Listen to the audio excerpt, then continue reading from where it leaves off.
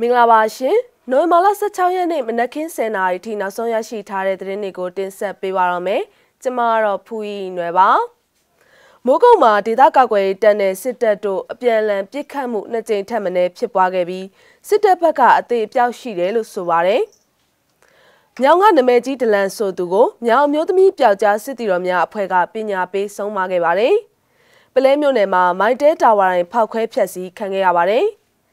ကျောင်းဝရောက်ရင်ပြောင်းဝရောက်မယ်စာသားကိုဒဂုံတစ်ကျောင်းရှိစေးမုတ်ဆန္ဒပြခဲ့တဲ့သတင်းတွေအပါအဝင်နောက်ဆုံးရသတင်းတွေကိုဆက်လက်တင်ဆက်ပေးပါမယ်။မိုးကုတ်မြို့မှာမနေ့ကနိုဝင်ဘာလ15ရက်နေ့ကဒေသကာကွယ်ရေးတပ်ဖွဲ့နဲ့စစ်တပ်တို့အကြားအပြန်အလှန်ပစ်ခတ်မှုနှစ်ကြိမ်ထပ်မံဖြစ်ပွားခဲ့ပြီးစစ်တပ်ဘက်ကအသေးပြောက်ရှိခဲ့တယ်လို့ဒေသခံသတင်းရင်းမြစ်တွေထံကနေသိရပါဗျ။အထက်ကတစ်ကျောင်းသားမှာဘုံသုံးလေးလုံးစစ်ပေါက်တယ်။ အမှထိတာတော့မကြားမိပါဘူးပိတ်ဆွဲဘက်မှာအပြန်အလှန်ပြစ်ကြတော့စစ်သားတွေထိတယ်လို့ဆိုပါတယ်။ညနေတုန်းကတော့ရှေ့ပိုင်းနဲ့နောက်ပိုင်းကြားမှာစစ်ကားတွေမိုင်းဆွဲခံရတယ်။အဲ့ဒီမှာစစ်သား၄၅ယောက်တေလို့အဲ့ဒီတကြောစစ်တပ်ကတောင်းကျမ်းနေတယ်လို့ဒေသခံသတင်းရင်းမြစ်ကပြောပါတယ်။နေ့လယ်12နာရီဝန်းကျင်အချိန်လောက်က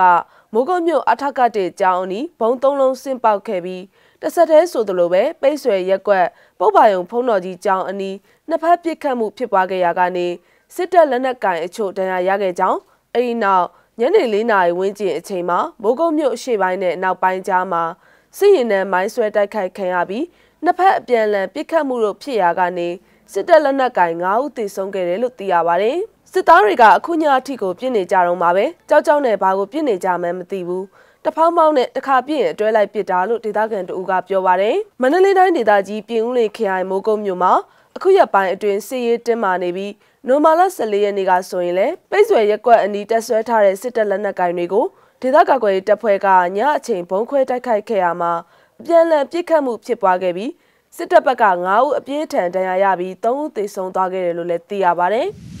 ။စကိုင်းတိုင်းမြောင်မြို့နယ်ချောင်းစင်းကျေးရွာကနမဲကြီးဒလန်တင့်ဆွေဆိုသူကိုမြောင်မျိုးသမီးပျောက်ကြားစစ်တီတော်များအဖွဲ့က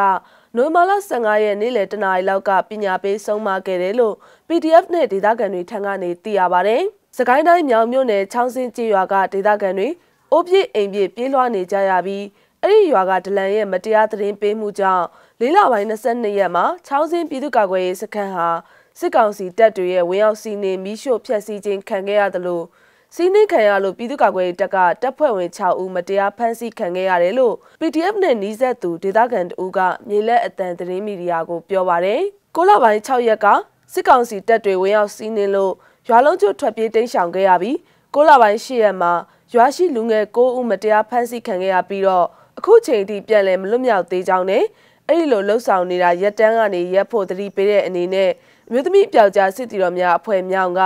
ဒလန်အင်ကိုပညာပေးဆုံးမခဲ့တာလို့သိရပါတယ်။သူ့ကြောင့်ပဲကြေးရွာအတွင်းကပြည်သူတွေအိုးပြစ်အိမ်ပြစ်နဲ့ရွာလုံးကျွတ်ထွက်ပြေးပြီးတိမ်းရှောင်ကြရပါတယ်။မဟုတ်မမှန်တဲ့သတင်းတွေကိုစစ်ကောင်စီစီပို့တယ်။လက်ရှိသူ့အိမ်ကနေရှောင်နေတယ်။သူ့အိမ်ကိုသွားပြီးအုတ်ခွက်ပကံတွေပြန့်ကျဲထားခဲ့တယ်။ပစ္စည်းအနှဲငယ်ကိုထုချေတာမျိုးတွေလုပ်ခဲ့ပါတယ်။ပြစ်ခတ်တာတွေတော့မလုပ်ခဲ့ပါဘူး။ပညာပေးတဲ့သဘောပါပဲလို့မြောင်မျိုးသမီးပျောက်ကြားစစ်တီတော်များအဖွဲ့ကအဖွဲ့ဝင်တဦးကမြေလက်အတန်ကိုပြောပါရယ်။ မြောင်မျိုးသမီးပျောက်ကြားစစ်တီတော်များအဖွဲ့အနေနဲ့စစ်ကောင်စီတောက်တိုင်မှန်သမျှကိုရှင်းလင်းချေမှုန်းတာတွေပညာပေးဆုံးမတာတွေကိုအရှိန်မြင့်ဆောင်ရွက်သွားမယ်လို့မျိုးသမီးပျောက်ကြားစစ်တီတော်များအဖွဲ့ကထုတ်ပြန်ထားပါတယ်။နောက်ထပ်သတင်းတစ်ပုဒ်အနေနဲ့စကိုင်းတိုင်းပလဲမြို့နယ်မင်းရွာကြီးရွာရှိမိုက်တဲတာဝါတိုင်းကိုနိုမာလာ15ရက်နေ့လယ်တနာရီအချိန်မှာဒေသခံပြည်သူ့ကာကွယ်တပ်တွေကဖောက်ခွဲဖျက်ဆီးခဲ့တယ်လို့သိရပါတယ်။ အဲ့ဒီဖောက်ခွဲမှုကိုပြည်သူ့တော်လှန်ရေးတပ်မတော် PRA အဖွဲ့နဲ့တသစ်နဲ့အဖွဲ့တို့ပူးပေါင်းပြီးလှုပ်ဆောင်ခဲ့တာဖြစ်တယ်လို့လည်းသိရပါတယ်။စစ်ကြုံပညာရေးအမြင့်ပြတ်ဖို့ငါတို့ကျောင်းသားတွေကျောင်းမတက်ဆိုဆိုတဲ့စာသားကို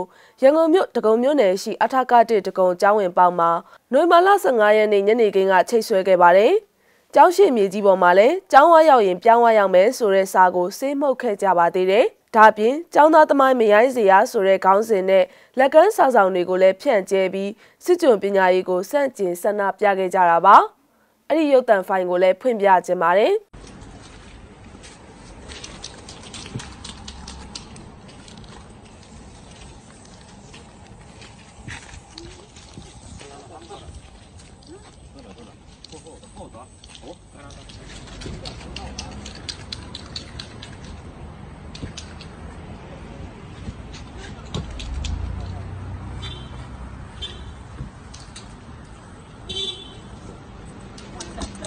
မဇ